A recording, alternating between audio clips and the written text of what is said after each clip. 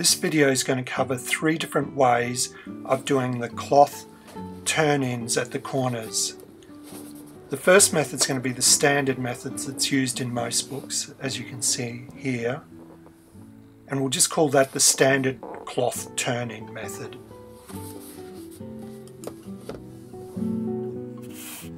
The cloth at the corners is trimmed at 45 degrees to the book one and a half times the board thickness away from the corner. So in this case, where I'm using 2 millimeter board, I'm going to trim it 3 millimeters out from the corner. Here I'm showing measuring the 3 millimeters, marking it, and then I'll cut it with a knife. You can also buy jigs for cutting the corner. The next way I'll show how to do it is I'll measure the 3 millimeters I'll mark it, and then I'll use a pair of scissors to trim the cloth.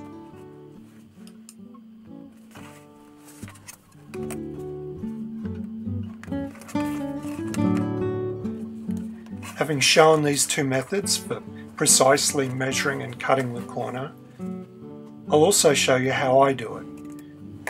And this is following the philosophy of Bernard Middleton, who really believed in efficiency and in this case, there is no advantage in terms of quality. If you're out by a few degrees in, in the trim or fractions of a millimeter away from the corner, it makes real no difference to the quality of the finished product.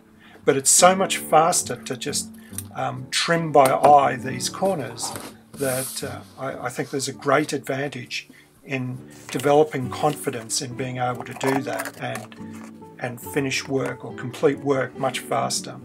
So once the corners are trimmed, uh, as always with bookbinding, we always turn in head and tail first. So in this case, the head and tail are the short uh, edges. So we turn uh, over the turn-ins, use the bone folder to turn the uh, cloth up nice and crisply and squarely so that there's no uh, hollow on the top. Use your fingers to pull the cloth over. Now there's going to be a little tab of cloth that sticks past the edge of the board and the idea is that you use your thumbnail or a sharp bone folder to push that little tab down over the corner. So do that at both uh, corners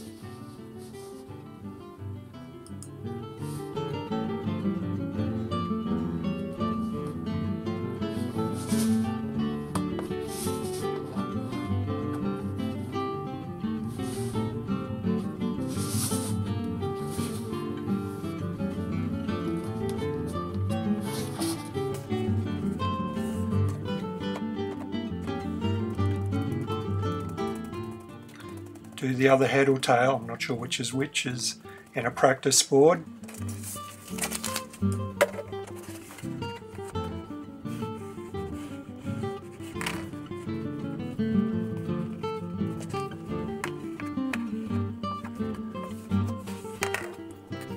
Here's a close-up of pushing in that little tab of cloth.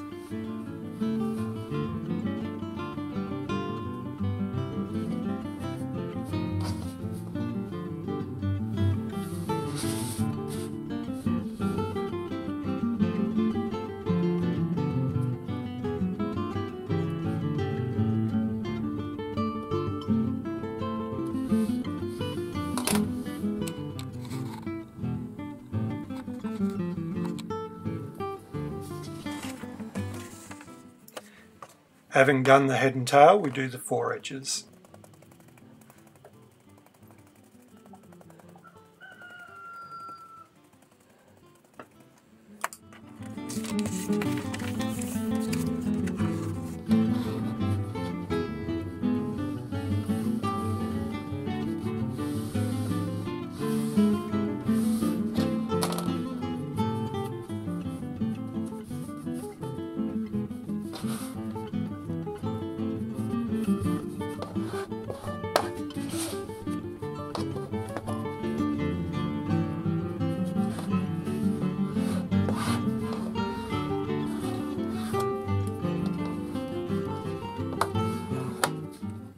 Just use your bone folder to mold the corners, get them nice and square and uh, if there's any uh, excess cloth sticking up, you can force that down.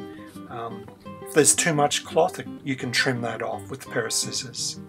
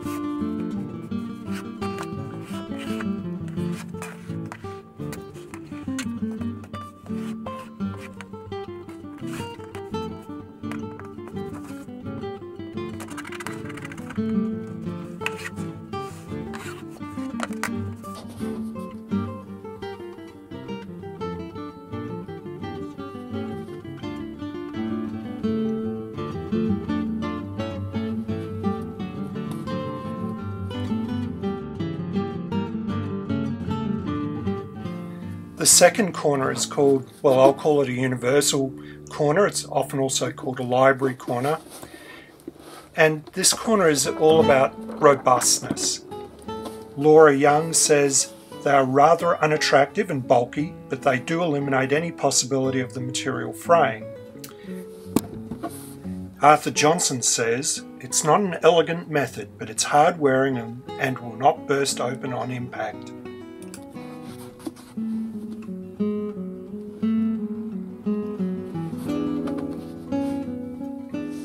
I usually round off the corners with some sandpaper so there isn't a, a very pointy piece of uh, grey board sticking into the uh, cloth.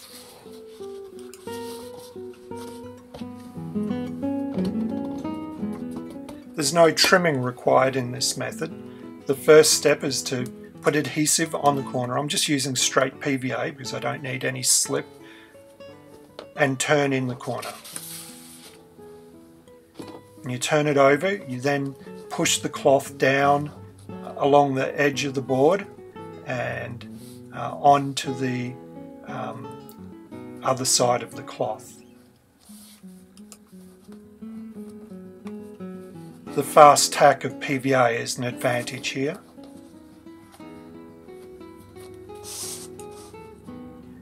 Use your bone folder to make sure there's nice crisp folds and stretch the cloth down into the uh, uh, onto the edges of the board.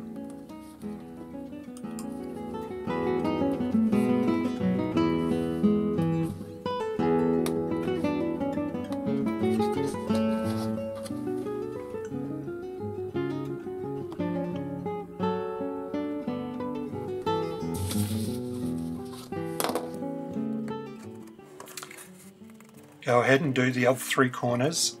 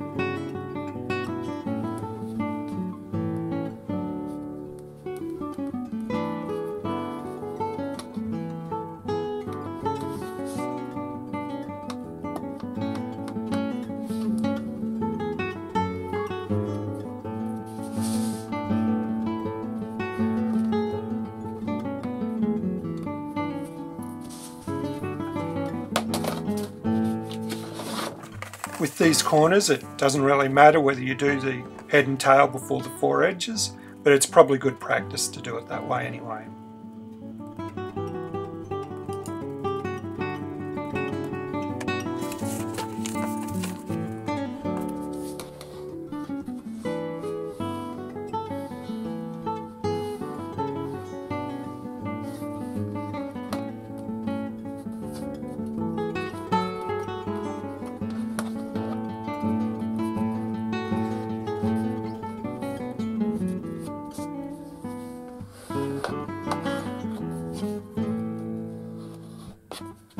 At this point you can see what Laura Young means about them being rather bulky, so just use the bone folder to try and um, compress the, the cloth to reduce that bulk.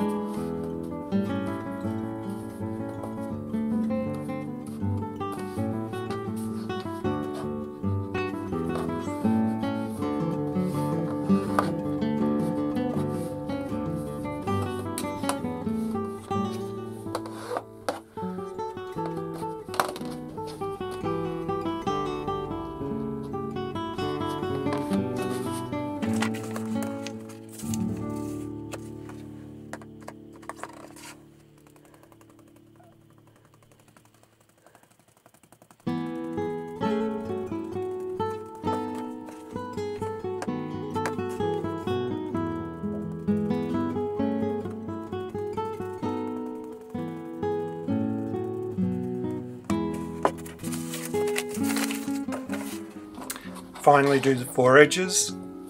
I've probably been using a bit too much PVA uh, and that's why I'm getting so much squeeze out.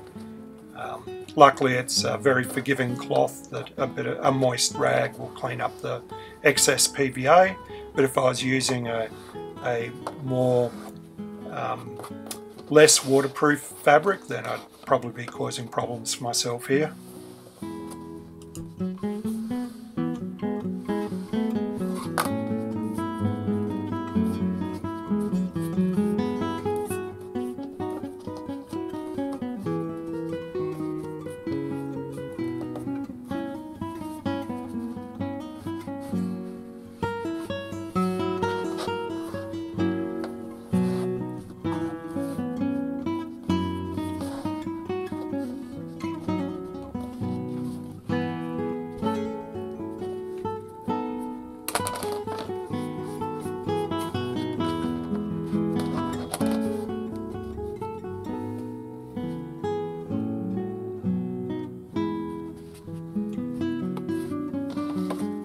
Use the bone folder just to round the corners a little bit more and uh, a bit of a nip would probably be a good idea at this point.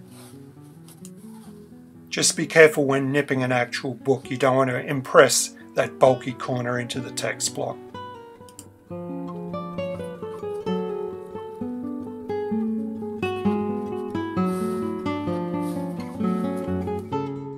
Last corner I'm going to call a tab corner because that's what I was originally um, told that it was called. But the only reference I've really found for it is in John Mason's book, and he calls it the tongued corner. And the purpose of this corner is for uh, thick boards, such as in stationary bindings. I'm going to demonstrate it on um, two two and a half mil boards laminated together to make a five mil board. Start by drawing a line 45 degrees to the book, about the thickness of the board plus about a millimetre away from the corner.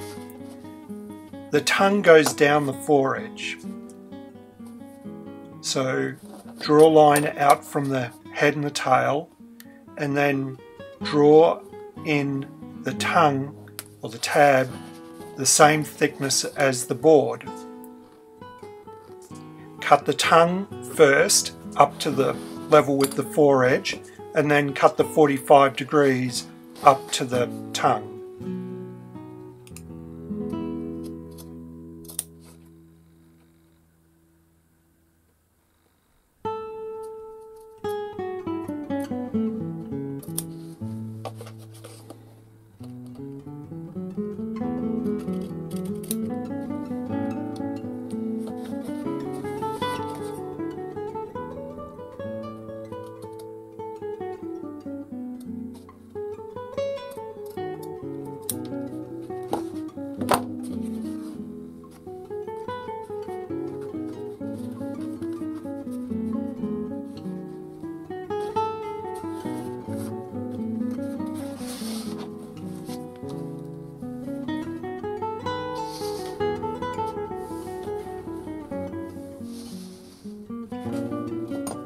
Once you understand how this corner works, you don't really need to draw it in, you can do it by eye.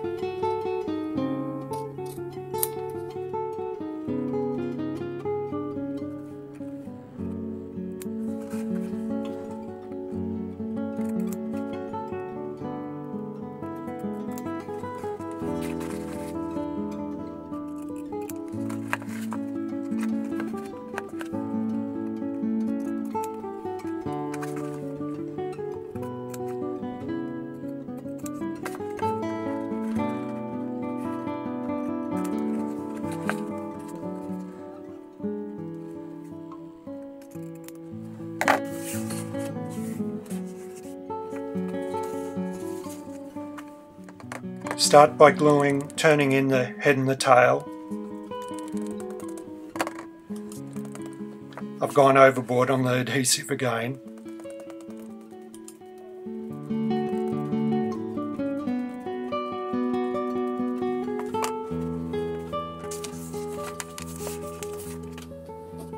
Now it's pretty much the same as a standard corner except uh, once you turn up the uh, turn in you uh, turn the tabs down the foredge.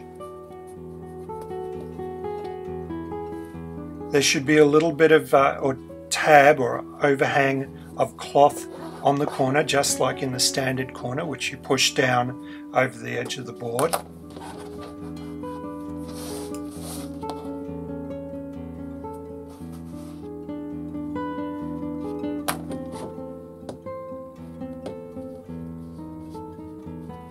Push that cloth down pretty firmly so that it doesn't produce too much bulk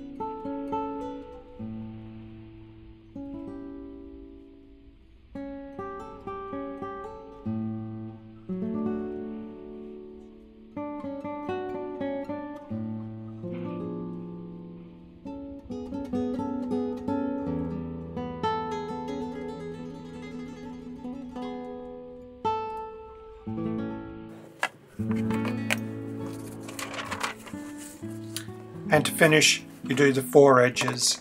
Uh, use your bone folder to uh, firmly um, push up the board, uh, cloth on the edge of the board to um, reduce the bulk uh, where the tab is.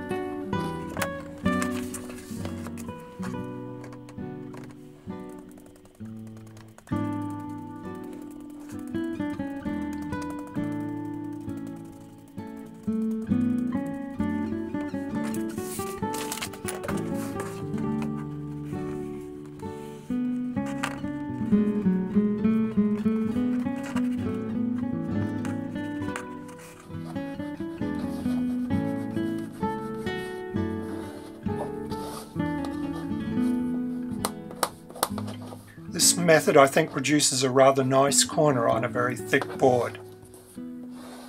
In future videos I'll do uh, leather corners and some other techniques with cloth such as debulking a standard corner.